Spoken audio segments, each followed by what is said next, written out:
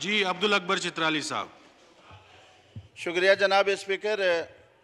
जनाब स्पीकर, एक तो ये है कि जब कोई मिनिस्टर बैरूनी दौरे पर जाता है तो स्पीकर उसका ऐलान करता है कि फ़लान मकसद के लिए फ़लान मिनिस्टर बैरूनी दौरे पे है, वो नहीं आ सकता। और ये होना चाहिए। ये मेंबर को पता नहीं लगता कि हमारे मिनिस्टर जो हैं, कहाँ गए हैं और क्या काम कर रहे हैं। जो काम हमारे मौलाना अब्दुलशकूर साहब ने किया है अगर यह हकीकत है तो मैं उनको मुबारकबाद और नहीं नहीं तो उनको मैं खराज तहसीन भी पेश करता हूँ, मुबारकबाद भी दे देता हूँ। लेकिन लेकिन इस ज़मीन में एक ज़मीनी क्वेश्चन भी मैं करता हूँ मौलाना साहब से कि एक तरफ़ तो हाजियों को कहा जाता है कि साढ़े आठ लाख आठ लाख रुपए आप जमा करें।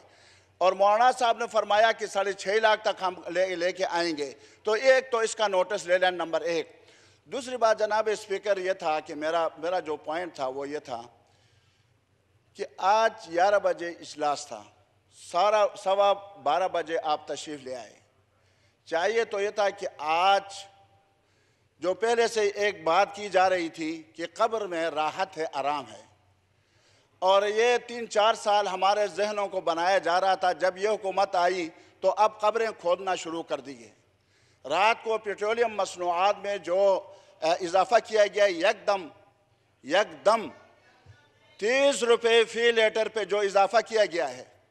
और दूसरी तरफ़ अयाशियों के लिए बाहर से लग्जरी गाड़ियाँ मंगवाई जाती हैं। आया सामान, तायुष मंगाया जाता है।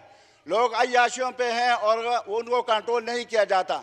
लेकिन दूसरी तरफ़ गरीबों पर जो बम गिराया गिराया गया है, चाहिए तो ये था जनाब स्पीकर कि आप ये क्वेश्चन आर भी छोड़ देते और इस पर आप बात करते कि कि डिबेट करते। इस पे मम्बरान जो है अपने तजावीज़ हुकूमत के सामने रख देते। हम भी अपने तजावीज़ रख देते। हम किसी की मुखालफत में नहीं, सिर्फ़ ये मुल्क जो है, ये हमारा है।